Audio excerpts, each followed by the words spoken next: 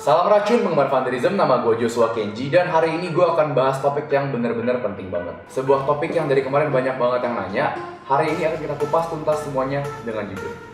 So please help me in welcoming, bukan rahasia vandalism. Oke, kita mulai dari klarifikasi pertama mengenai saya Halilintar. Dari Safwan 2707, Bang, kenapa banyak banget yang kira abang ini saya Halilintar? Emang, Pertanyaan nomor 2 dari official Rizky Fauzi. Kenapa saya halilintar botak? Hundred years passed and my brother and I discovered the new avatar, an airbender named Aang. Pertanyaan nomor 3 dari Ganet Dwi. Bang, nggak coba digundulin biar mirip saya helikopter. Let's go Dit! Helikopter!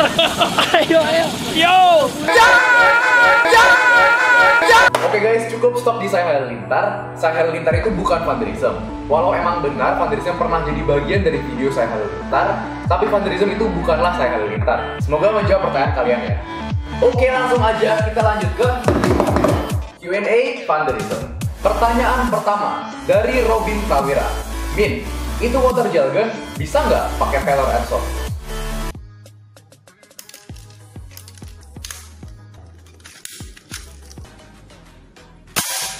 Next question dari The Poteng, Tep Tepoteng, Depoten Kak.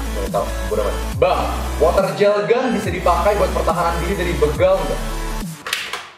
Bisa.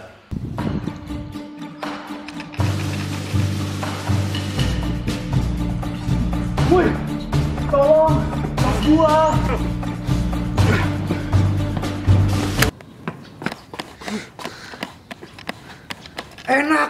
Beli di mana? Belinya di vandalism.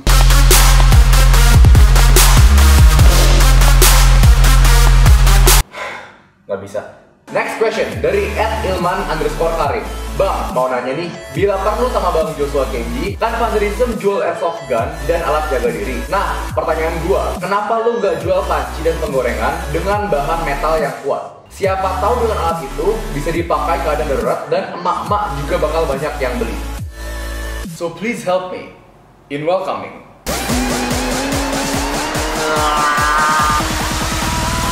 Panci emak-emak. Tektonika Stainless Steel. Panci ini dilengkapi dengan fitur Tectonic Stainless Steel. Kekuatannya setara dengan tameng Captain America. Captain America Next question dari Akmal Adia Putra. Bang, at Joshua Kenji, kenapa nama online shopnya harus vandalism underscore com? Kan masih banyak nama lain yang lebih bagus. Oke, sebelumnya thank you banget bro udah pakai profile picture vandalism. Dan atas request bro Akmal, kita akan mengganti nama menjadi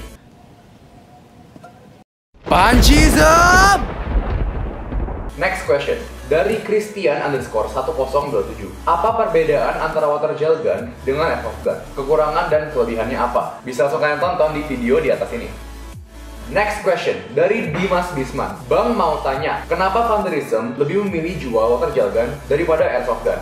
Pertanyaan yang bagus Oke pertama-tama kita nggak jual airsoft gun karena di Indonesia undang-undang mengenai airsoft gun belum terlalu jelas rekan-rekan seller kita yang menjual airsoft gun juga banyak yang kena tangkap polisi. Jadi untuk sekarang menurut kita, alternatif yang paling mirip dengan airsoft gun adalah water gel gun. Kenapa? Karena water gel gun masih aman di mata hukum, dan water gel gun saat ini mesti dikategorikan sebagai pistol air atau benda hobi. Udah gitu water gel gun, funnya lebih dapet, lebih aman, dan kalau ditembakin nggak akan luka atau berdarah. Oke, pertanyaan terakhir dari Noob Warde. Gun, kapan bikin Q&A? Barusan. Oke, sesuai janji kita di Instagram, Pertanyaan terbaik akan kita mention di YouTube kita di Vandrism dan juga akan ada hadiah satu mystery box seharga 500 ribu.